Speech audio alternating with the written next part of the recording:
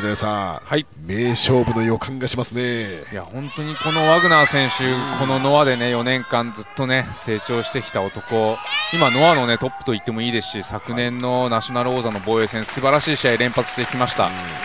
まあ本当にいつでもね挑戦頂点に挑戦できる選手だと思いましたけど、このタイミングでね剣王選手と今、ノアで一番いいカードかもしれないですよね。かもしれませんね。松木さん、このワグナーの気合、はい、そして今日はもう全部白ですね。本当ですね、えー、なんかもうお互いがリスペクトしてる感じもいいですよね。そうですね。さあ斉藤選手、はい、ワグナーが本当にこの待望の挑戦ですよね。いやそうですよね。えー、もう本当頂上対決というかですね、はい、やはりワグナー選手もあれじゃないですか。やっぱりナショナルのまあ、うん、彼がミスターナショナルと言ってもおかしくないぐらいですからね。そのナショナル王座を失いましてもうワグナーの目にはこの GH ヘビーこのベルトしか映っていないでしょう。さあお聞きください。ここはまあ剣王の第二の故郷ともいえる仙台なんですが剣王コールにワグナーコールも飛んでおります。ああこの辺は井上さんもワグナーがこの4年半で培ってきた信頼ですよね。そうですね、やっぱりどれだけね、あのー、苦しい思いをして日本でね戦ってきたかっていうのはファンのみんなも分かってますよね。まあ、ワグナーはその来日してこのタッグチャンピオンになってこれからという時にこのコロナ禍がありまして日本に来ることができませんでした。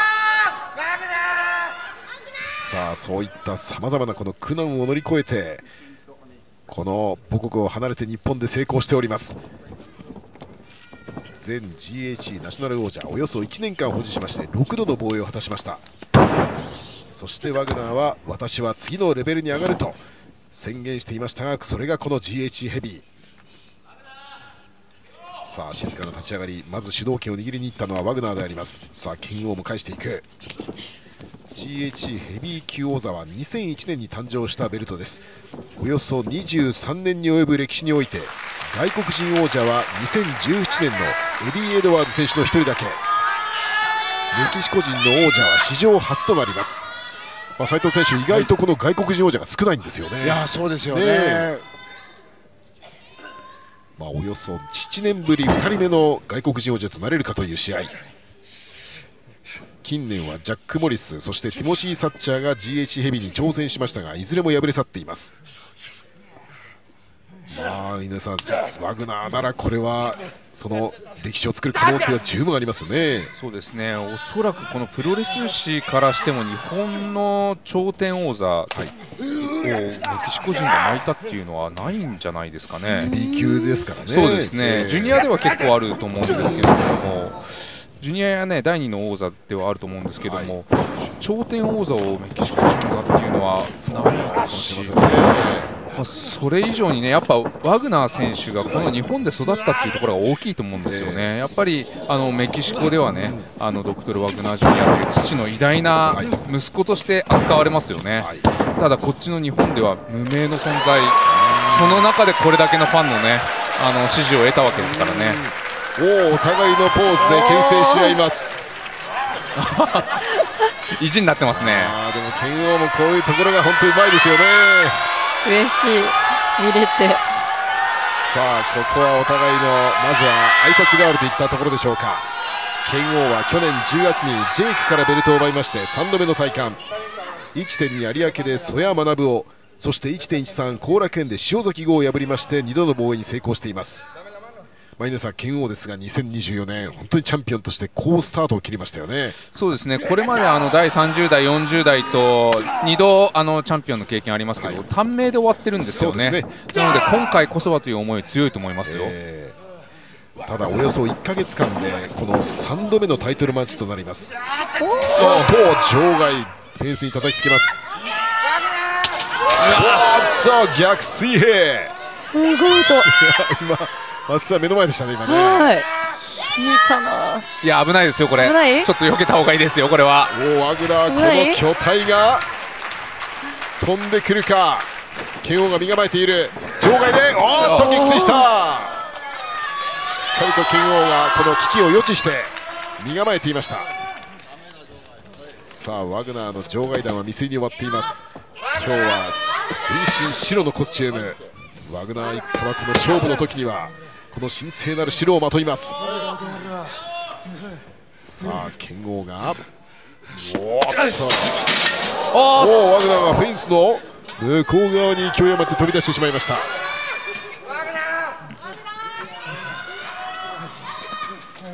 さあ剣王もこのワグナーの挑戦に異論はありません。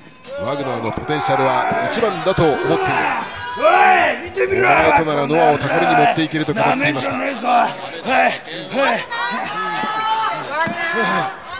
さあ剣王がちょっと距離をおここまで下がっていきます。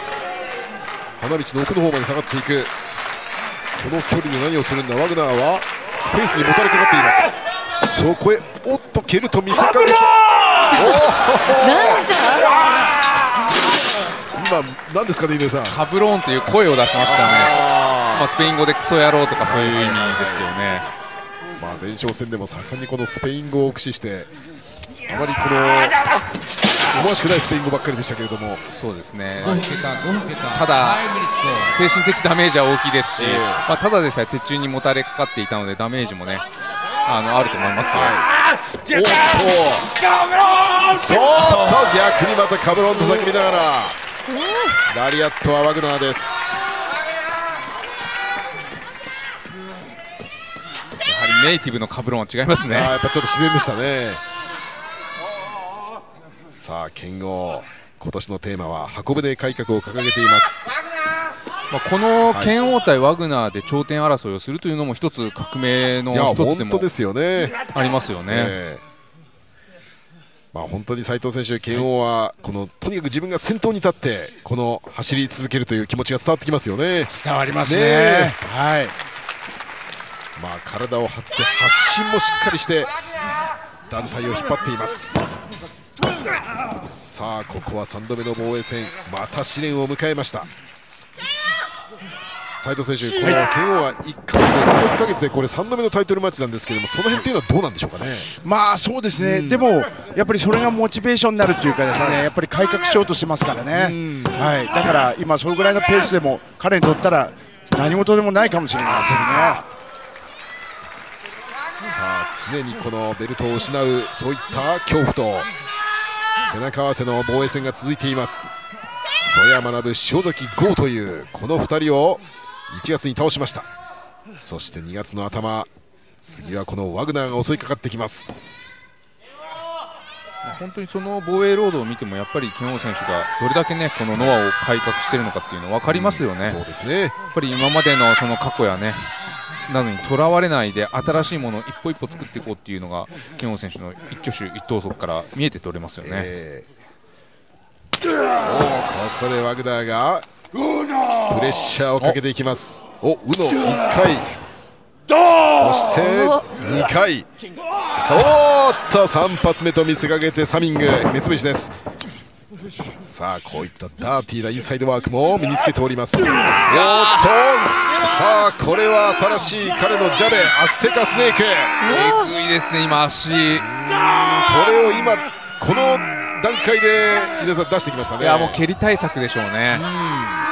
さあご覧ください。この両足とこの左の腕が決まっています。アステカスネーク。まあメキシコには数えきれないほどの関節技がありましてそれを総称してジャベと言います。それも皆さんしっかりマスターしてますよね。そうですね。昔のファンでしたらメキシカンストレッチという名であのおなじみだと思うんですけどもそのあたり体に染みついているからこそのこのアステカスネークですね。ただ剣王にも剣王スペシャルという関節技がありますただ剣王スペシャルが斉藤選手、このワグナーのこの熱い体にはなかなか決まりにくいんじゃないでしょうか。まあそれはあるかもしれないですよね、えでかいですからね、そうですね。熱いですから、ただその剣王スペシャルはこの剣王の最近の快進撃の一つの源となっていますので大事な技になります。ワグナードロップキック。1月28日の大阪の前哨戦では剣王スペシャルでレフェリーストップ勝ちを収めていますからね、はいまあ、ただ、ワグナー選手はギブアップをしていないと。あそうですね。いう一幕がありそこであのレフェリーにつかみかかっているワグナー選手にはい、剣王選手がトランキーロとはい、いった一幕もありましたね。そうでしたね。ワグナーは非常に頭のいい選手。しっかり作戦を立ててきているでしょう。なので1回前哨戦で剣王スペシャルを食らっているというところがもしかしたら大きく左右するかもしれないですよね。まあでも剣王選手は、まあ、斉藤選手、はい、こういう頭のいい選手は丁寧に戦わないといけませんよね。まあそうですね、えー、はい、先走るとちょっと足を取られるとかありますからね。ね。さあここは打撃ローキックです剣王おワグナー効きました。ウェイトの差はおよそ10キロあります。ワグナー104キロ。95おっとアンクルホールド。剣王選手が得意とする技ですね。流れの中とはいえアンクルホールドを決めていきます。そしておっと。これはメキシカンのルチャリブレの一つの奥義。ロメロスペシャル。綺麗ですね。美しい。やはりこのメキシコの名門一家この技はもう身につけております。さあロメロスペシャルがっちり決まっていますそのまま肩をつけていく。2人の肩がついていますが。カウンター2いや斉藤選手あのバランスそしてすごい力ですよね。いやありますね。やっぱり昔から染みついてるんでしょうね、ああいうような技も。えー、お父さんは日本で活躍しました新日本プロレスのジュニア戦線で活躍したドクトル・ワグナー・ジュニアそしておじいさんもプロレスラー。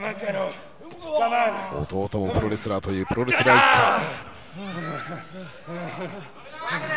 家。さあ初挑戦。ノア来日およそ4年半でいよいよこの GHC ヘビー初挑戦のチャンスが巡ってきたワグナー。おっと。嫌なところを見せる剣王足を払う。フットスタンプ。さあさらに剣王もスピードに乗っていく。ニアタックさあここは剣王が起点となる技。さあワグナーの圧力に序盤はやや苦しめられていましたがここで反撃。おさあ剣王が。ん？ええ？お？先ほどやられたロメロスペシャルにトライします。ちょっと形が変わってますねそうですね。ちょっと足のロックが、通常とはまた違いますが。ワグナーは重いぞ。おーいった。ロメロ。ロメロスペシャル剣王が逆に見舞っていった。すごいすごい。さあワグナーへの挑発も含まれているか。お。そして同じように肩をつける。こんなのは俺もできるんだというそうやんばかりの剣王ですジャパニーズルチャリブレの団体、はい、道のくプロレス出身ですからね、ね。剣王選手は。そしてその道のくプロレスの本拠地がこの東北仙台も含まれております。その道のくプロレスからプロレスリングノアに移籍してそして今やプロレス界の看板を背負う男になりました。剣豪ここは選手の入場のゲートなんですがそこでサッカーボールキック。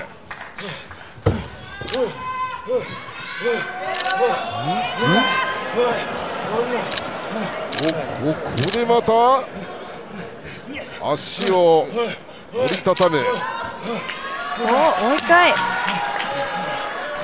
さあノアのこのロゴマークの目の前でまたロメロスペシャル。こ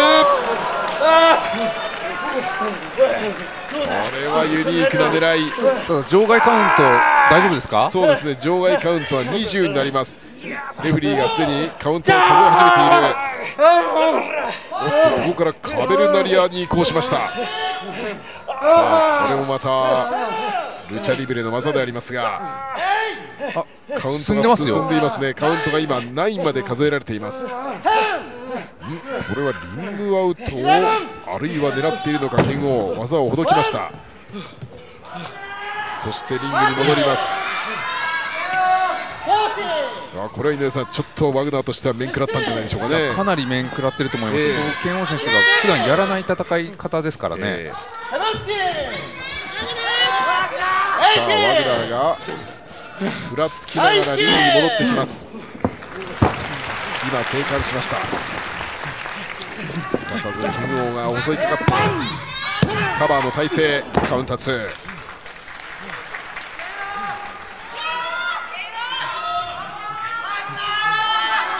剣王とワグナー甲乙つけがたい歓声が飛び交っております至近距離からダブルニードロップ。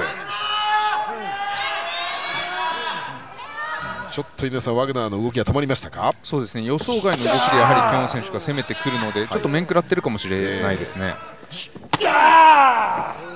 そしてそこへ追い打ちのキック。3連発。変化球変化球変化球からの直球直球と。あ本当ですね。本当にこのコーナーを織り交ぜたあのケンオ選手の攻めですね、はい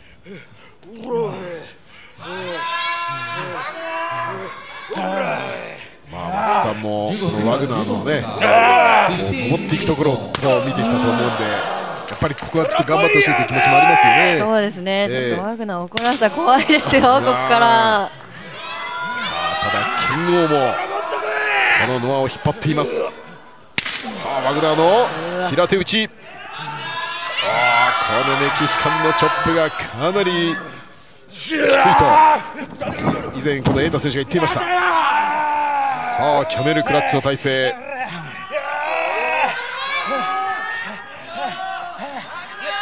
ワグナーの反撃、しかしそれをすぐにいなして、また優位な体勢に持ち込んでいます、チャンピオンの剣王。おっ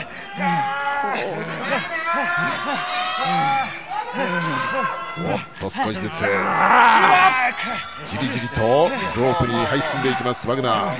最終的にはケンオスペシャルですかね、やはり、あの散らしてますよね、うまく、はい。今の締め方もやはり最後のケンオスペシャルへの布石を打っているようなはい。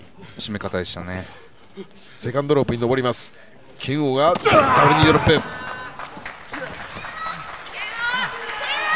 これは斉藤選手剣王は非常にいい攻めをしてますね。いい攻めですね、え今みたいな膝っていうのがですね結構あばらのところに入ると、はい。後々すごく効くんですよね。さあその膝こうおっとフットスタンプ。うわーこそうこでですね、背中、腹に集中攻撃ですね。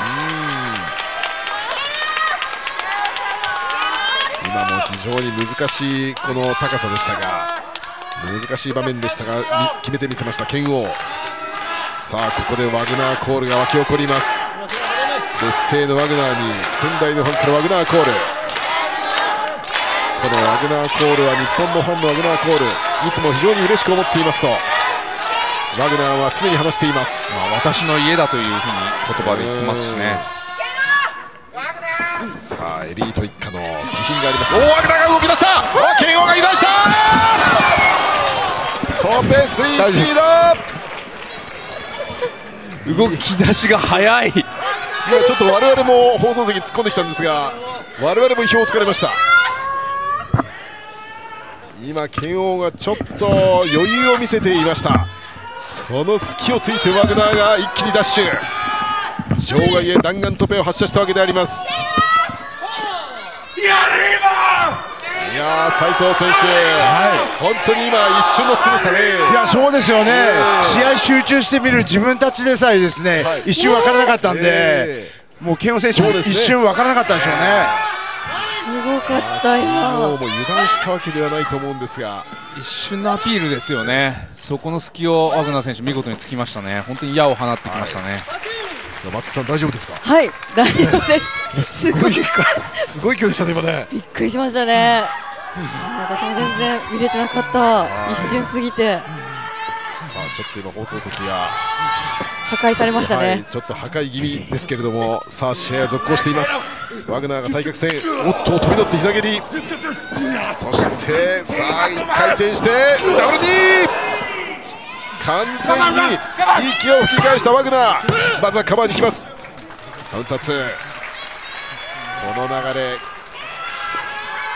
さあ剣王が倒れ込んでいます。だいぶケンオ選手あの息をつかれてますね、は先ほどからの戦い方とちょっと変わってますよね。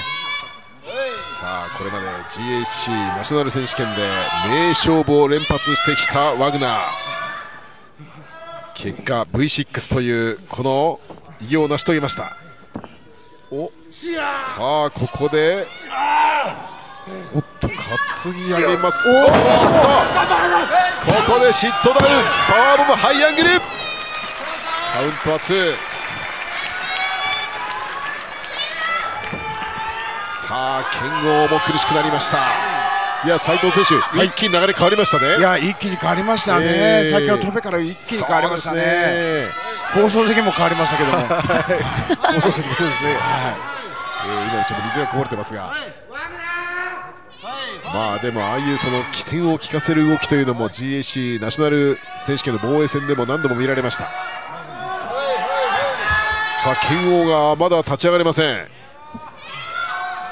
ワグナーはまだ必殺のワグナードライバーを温存しています。持ち上げる。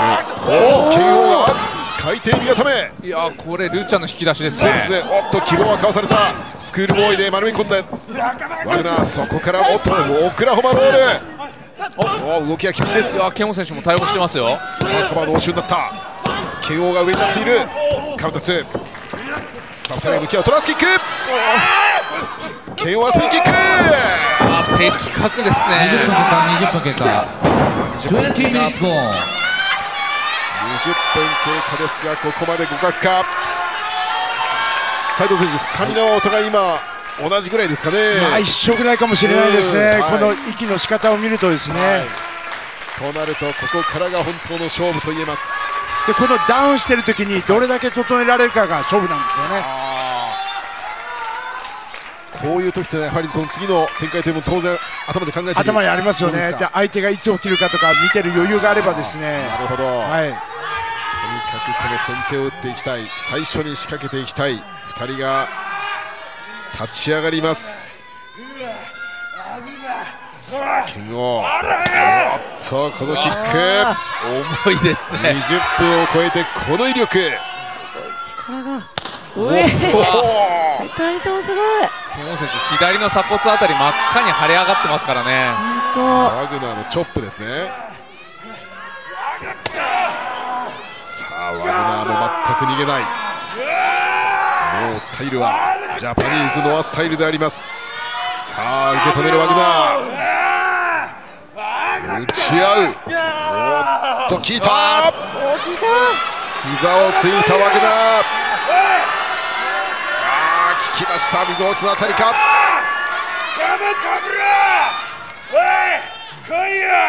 剣王がワグナーを挑発する。もう一発今度は胸板ワグナーが棒立ちになっている。お切れ足をキャッチした。さあ振り払って喉をつかむお剣王がこのコンビネーション。さらにスピンキックもかわした。ヘッドバット。至近距離からヘッドバットロープへ飛ぶ。お前足切りキック。しかしワグナー立ち上がっている。喉笛をつかみます。おワグナーの目の色が変わりました。マスク越し。首筋チョップおっとリンネおっとディスカスクローズライン。あ剣王がフォルコーブレマスター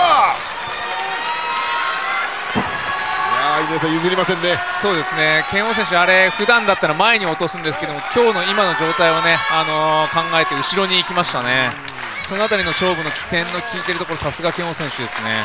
GHC のフリーのベルトノアの至宝でありますワグナーは取れば史上2人目の外国人王者メキシコ人としては史上初となりますさあその偉業まで。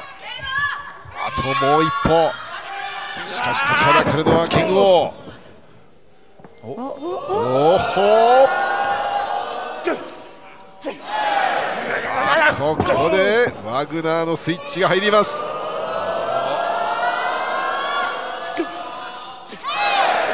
お客さんを味方につけてワグナー。おっと左のフォアームさらに持ち上げるバックドロップ。おっと着地した剣王あージャーマンツープレックス。ワグナーも返していく。ジャーマンの応酬。おっと剣王が投げっぱなしドラゴン。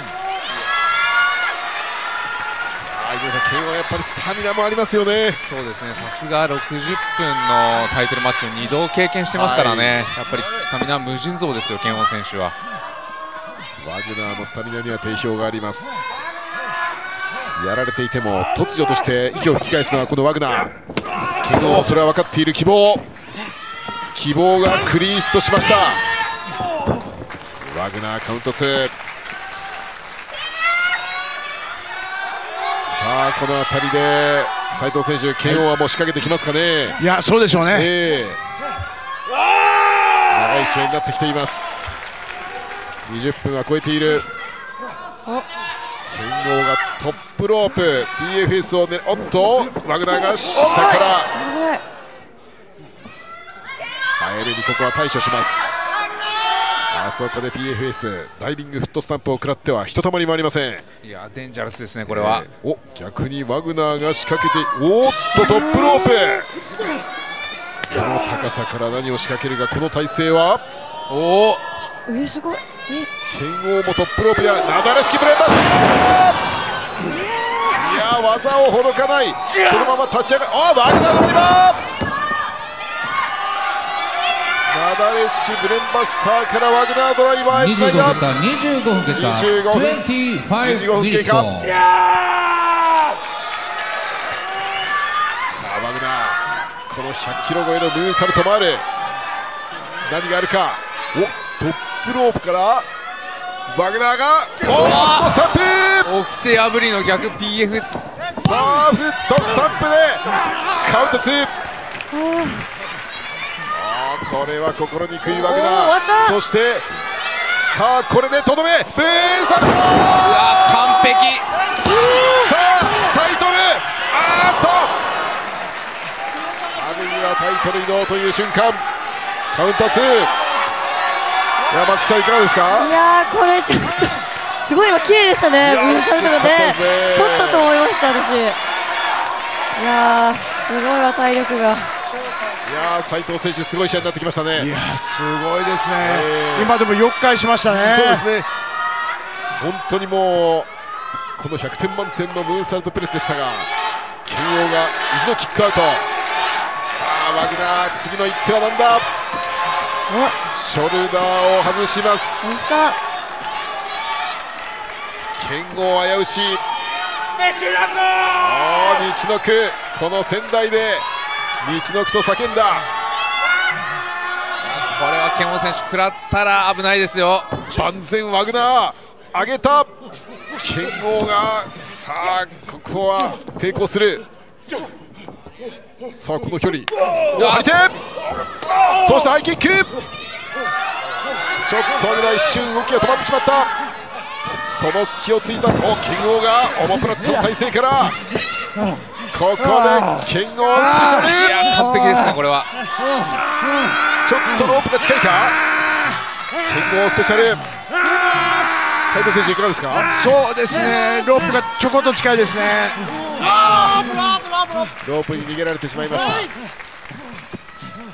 ただやはりこの剣王スペシャルというのはマグナーも警戒している技さあチャンスだったんですが次の一手。剣王トップロープへ上がる。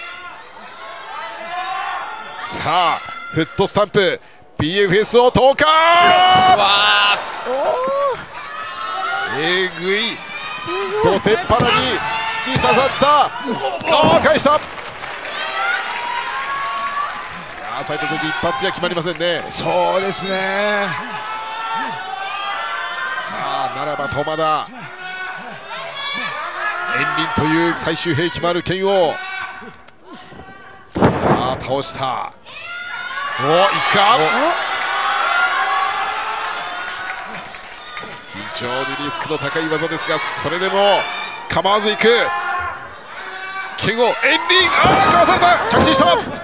剣王着地。バランスを崩した。おカサドーラ前方回転エビ固め。ワグナー。危ないさあ小技もあります。おーラリアット。一転して豪快なラリアット。首を刈り取った。さらにおこの体勢で。何？お高津上げだ。あーワグナードライバースペシャル。これはまずい。まさかさま。あー決まるか。返した。失敗した。入り方が工夫してましたね。そうですね、あれはケモ選手もね切り返し方がね頭になかったと思いますね。ただワグナー選手の手持ち技がなくなってしまいましたからね。ここからですよ。ムーンサルトも出しました。ワグナードライバーも出しました。さあケンヨウはここをしのぎ切りたい。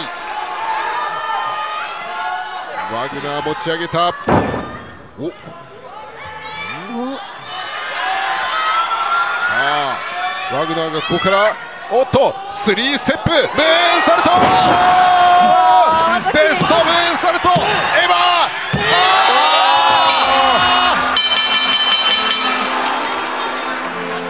なんとタイトル移動! Here is your winner! ワグナーがワグナーが一発で取りました。GHC Heavyweight Champion! El Guerrero 場内騒 Azteca! 然